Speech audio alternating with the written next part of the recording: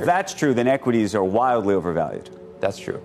That's true. It is true. You- Okay. You, would think Bitcoin would. Be. But be, then I would think that crypto would be wildly overvalued too. yeah. it- So Billionaire investor Dan Morehead, CEO of Pantera Capital, an American hedge fund that specializes in cryptocurrencies, currently with $4.2 billion in assets under management, gave such interesting perspective on where the crypto market and the stock market are headed in 2024. Let's talk crypto in just a second, but let's talk about bonds because it very well may be that the bond market uh, will have an impact, I imagine, uh, on crypto. But where, where do you really think we're headed, and what does this next 12 months look like to you, given, given what we've even seen in the last week?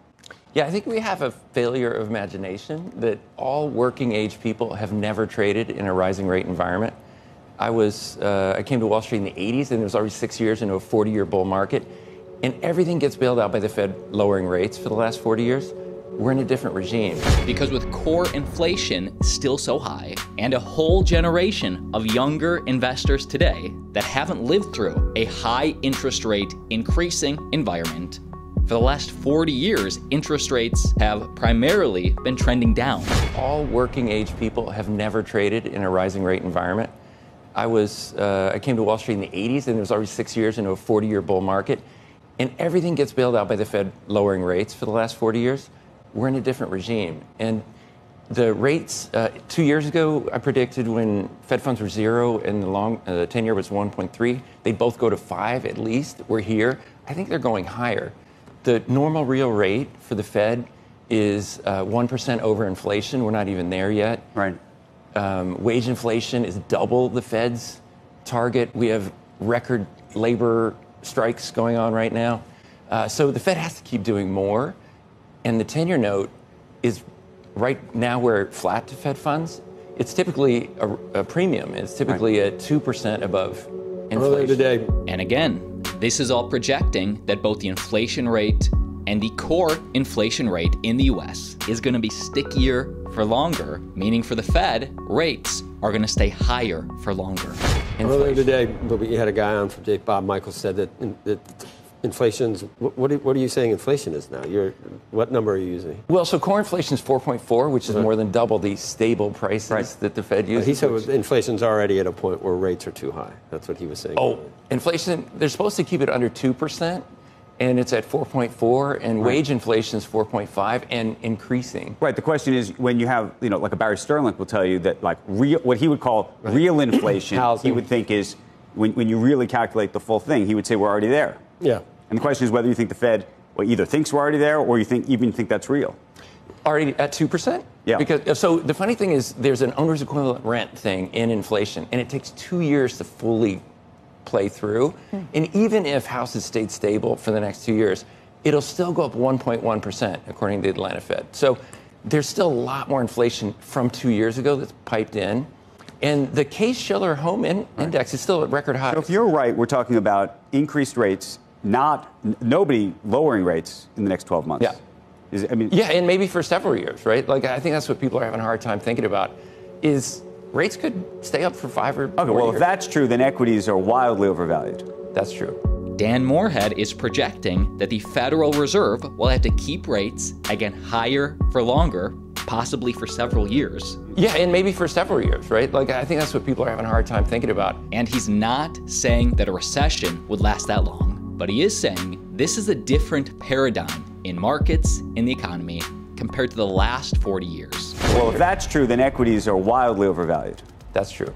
That's true. It is true. And you- okay. You, would think Bitcoin would. But do- then I would think that crypto would be wildly overvalued too. yeah. so uh, equities probably are overvalued because the PE is the same level it was when rates were crashing, but now rates are much higher.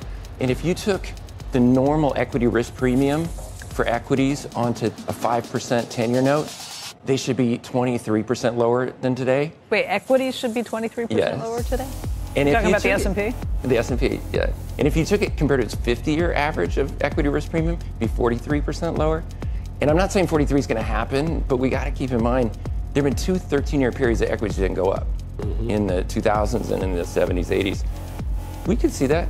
You think 23% is going to happen, if not 43? I think I think equities are going to go down for the next few years. And then, of course, what does that mean for Bitcoin, for crypto? And that's why crypto is relevant because it's not tied to interest rates, and that's pretty it- rare, right? It, it- kind it of is tied to Yeah. risk. You, you need the Fed opening the spigots for, for, for Bitcoin to go up. That, well, the Fed opening the spigots in 2020 was unambiguously wonderful for anything that had a fixed quantity. it hasn't been an inflation hedge. Yeah. So the, the, the thought is it was highly correlated last year. And the, To what? So Bitcoin is a proxy Just for for risk on? Nasdaq is what it's risk- correlated risk on. Yeah, Right. so it was a very risk on asset until the middle of last year, but I think that was correlated with or connected to a lot of super highly levered things like BlockFi, Celsius, you know, FTX. And those are once in a generation weird Right. occurrence. They're in the past. And this year, the correlation of Bitcoin to the S&P 500 is only 0.2. Historically, it's 0.1. So what It's is it correlated to then? so it's it's like some people call it digital gold because it's kind of its own thing. It's not interest rate related. Uh, obviously, bonds are interest rate related mathematically. Equities, So is Dan Morehead crazy? Or is he the smartest guy in the room? real estate. I think people are waiting for a cut. and every time they think there might be a cut and, and the Fed starts easing again, that's when Bitcoin goes because it's fiat becomes less, uh, less valuable.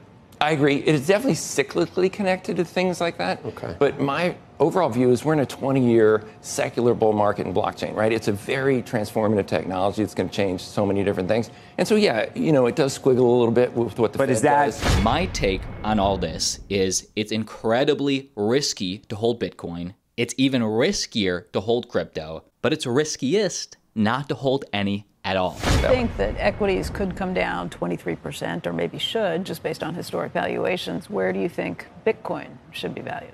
Yeah, so uh, it's a great question. Is we talk to asset allocators all the time. If you're thinking put money to work in bonds, I think that's pretty dangerous. Put money to work in real estate. Real estate is probably coming off all-time highs. Uh, equities, I think, are overvalued. That does leave a couple of asset classes like real commodities uh, and blockchain. Blockchain is a trillion-dollar asset class, so most institutions have essentially zero exposure right now.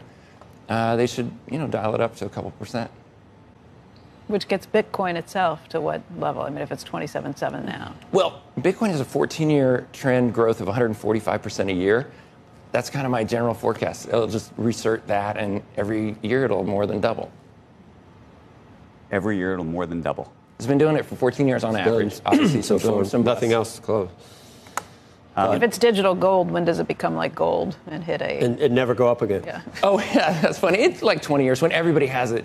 Right now, you know, most institutions really have essentially, a, you know, zero exposure. Be sure to click subscribe for daily updates keeping you informed about crypto. And make sure you come out to Venice, California tonight for the roast of Crypto Wendy O, and next week in Amsterdam at the Bitcoin conference, link down below. Uh, but the other cryptos are very important. You know, um, there's a project called Arbitrum that's helping scale other cryptos. Ethereum's worked really well. They did an emerge last year. Nothing happened. They changed software for 200 million people overnight, and it all worked.